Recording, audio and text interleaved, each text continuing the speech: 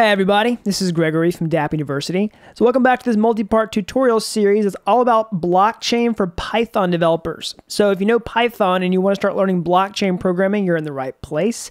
This series I'm talking about, you know, Web3 for Python developers. I'm going to show you how to interact with the Ethereum blockchain in your native Python language. So before we get into that, be sure to subscribe to this channel if you haven't already and click the like button down below. That really helps these videos get found so that more people can learn how to build blockchain technology. And really quickly, if you want to become a highly paid blockchain developer, then you need my online blockchain developer bootcamp, which is coming out on May 15th, 2019. And you can find out more information on my website at dappuniversity.com forward slash bootcamp. And I'll put a link to that down in the description below. So in this video, we're going to talk about how to interact with smart contracts in Python with Web3. So if you're not familiar with smart contracts, they're basically just programs that run on the blockchain. And in this tutorial, I'm going to show you an example of a smart contract. We're going to get all the data from it and, you know, pull it down into our project and read some information about it. And I'm going to show you how to do all of that in Python. So here's the smart contract we're going to use in our example today. So this is OMG. It's a token on Ethereum. So it's a cryptocurrency that's powered by smart contracts. And that's because Ethereum allows you to create your own token without creating your own blockchain with smart contracts. And it's basically just a program that governs uh, this currency. It's just money, and it you know it it uh, governs you know uh, people's balances. It allows them to transfer tokens and things like that. And we're going to read some information about this token. And again, this is a real, you know, live cryptocurrency on the blockchain that is, you know, worth a lot of money. And we can interact with it and play around with it today in Python. That's what I'm excited to show you. So let's see what we need to do in order to interact with this token uh, smart contract on, in Python. So first we want to, um, you know, go to our project. We set this project up in the first video. So check back in that video if you haven't already. This is pretty simple to set up. You don't necessarily have to have gone through that first video. You could just, you know, jump in as long as you have this uh, framework ready to go. So basically what we want to do is, you know, pull in Web3 first. Um, but in addition to that, we also want to import uh, JSON. All right. And we want to uh, get our connection to the blockchain. So we did that um, in the last video where we got an Infura, sorry, an Infura URL um, to an Ethereum node. So go check that out in the previous video if you haven't already. Basically, you just got to sign up and get a link that looks like this. And now we want to actually um, talk to the blockchain. We want to connect to it. So we need a connection like this. We say Web3 equals uh, capital Web3 and we say uh, capital Web3 uh, HTTP provider uh, Infura URL. All right, I'm going to pass that in. And, you know, we're going to run this uh, as a script, and we can just check, see everything's working. We can say Web3 is uh, connected. I believe that's how it works. Oops, sorry. And we'll say print. All right, we'll run this script to see if everything's working properly. Uh, we'll just say uh, Python, say app.py. All right, so we're connected. That's good. So I'm to clear this out. So what do we need to do? We need to actually connect to this smart contract, okay? And we need a couple of pieces of information about it. What we need is an ABI, and we need an address. Sorry, my text editor is going nuts here. So what are these two pieces of information? Well, the ABI is basically just going to be a, a, JSON array that describes what the smart contract looks like, okay? And the address is actually going to be the address of the deployed smart contract on the blockchain.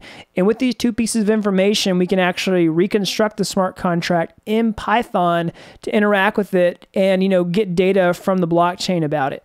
So let's take a look here. Um, you know, this is Etherscan where we can see the token. So we need to find the address and we can see that right here. This is the smart contract address. We'll just copy this and we'll go back to our project. We'll paste it in. All right. And now we need the ABI. So, you know, what is that and where is it? All right, I've actually got the code pulled up here. Um, so I'm going to scroll down and find the ABI. So this is what the ABI looks like. It's basically this big JSON array that describes the functions on the smart contract. Um, we're going to want all of these in order to, um, you know, basically be able to talk to our smart contract in Python. So just take all this and copy it. Copy like this. Okay, copy clipboard.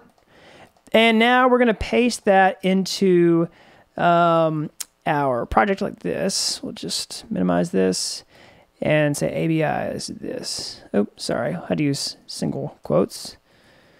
All right.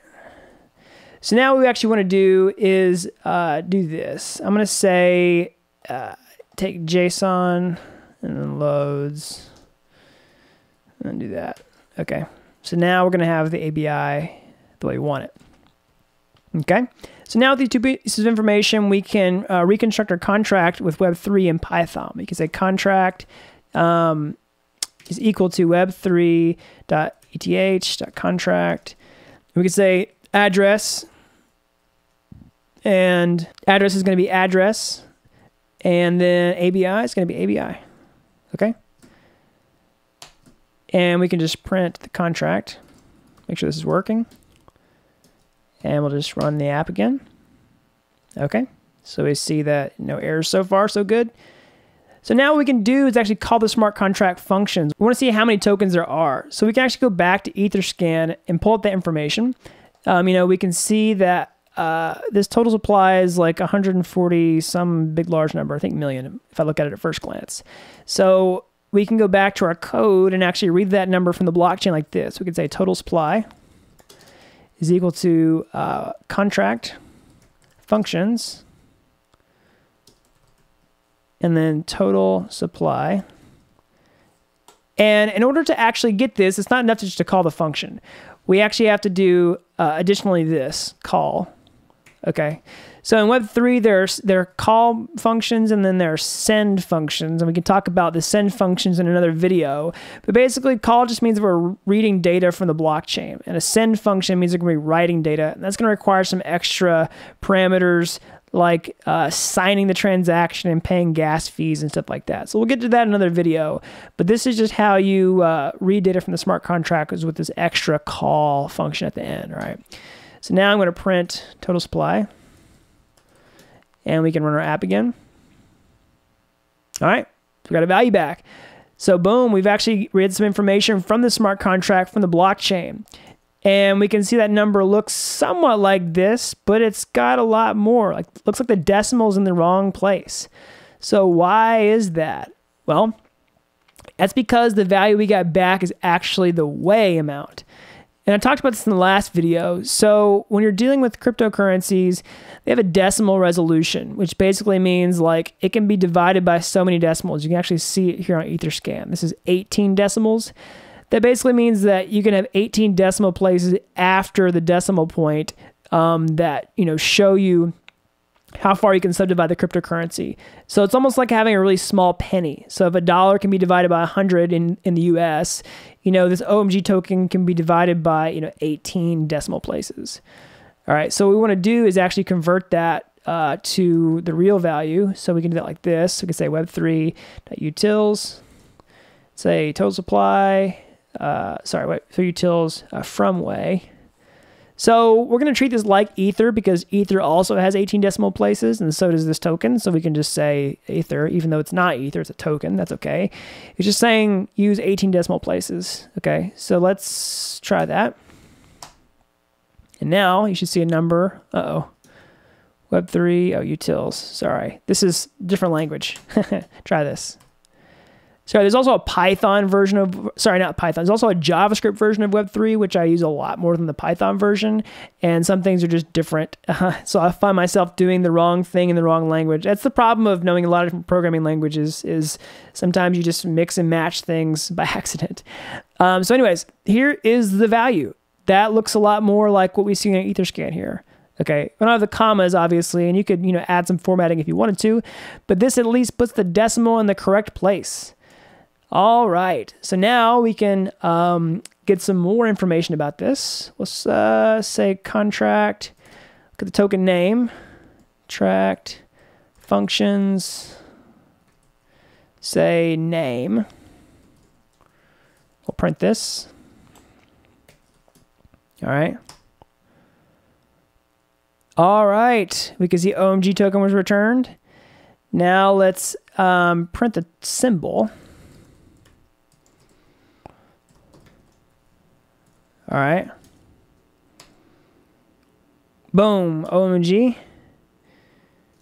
And then let's uh, let's actually read some information. Let's do something besides just uh, you know calling a function that has no arguments. Let's actually get a function that requires arguments. Okay, and we can kind of go back to Etherscan and look to see what's available to us. We can go back to the code. You know, you could read through the Solidity source code if you wanted to, and like you know, kind of figure out all the functions, or you could just uh, go to this read contract tab right here, and we could see uh, some functions here that have arguments. So we can see balance of is a function on the smart contract, and we would pass in, you know, an address to see what the balance is. So here's a fun little experiment. We can go to the holders tab and find a really rich holder of OMG, someone who has a bunch of tokens. We can actually see that like, you know, somebody has, you know, 19% of all the OMG tokens out there. So we can copy that address like this and say uh, contract functions balance of and pass in that, you know, pretty rich account. And we can say call. Actually, let's, instead of doing the balance by itself, say balance. And then we'll do the same thing we did up top. We say web3 dot uh, from wei balance and then ether. All right. So let's run the app. Uh-oh. So I put the, forgot the S. Let's try it again. Uh-oh. One more time. Oh, sorry. All right, let's try it again. All right, there we go. Now we see that this uh, account actually has a balance returned to us. All right, so that's an example of how you can, you know, read smart contract information from a real smart contract with Python uh, with the Web3 library. So that's how you basically use Python to build, you know, anything that can talk to the Ethereum blockchain, whether it's a blockchain-based application or whether you're scraping data from the blockchain for data mining or whatever you're trying to do with the blockchain. Python is a really great tool for interacting with it. So stay tuned for the rest of the videos in this series. Again, I hope you all liked this video subscribe to the channel so you can see those other videos when they come out. And also, don't forget about my Blockchain Developer Bootcamp. It's going to be your ticket to becoming a highly paid blockchain developer, which comes out on May 15th, 2019. And if it's already past May 15th, 2019, I'm sure you can find a link down in the description below that's going to let you know about my Blockchain Developer Bootcamp. So, again, hope you all like this video. And until next time, thanks for watching Dapp University.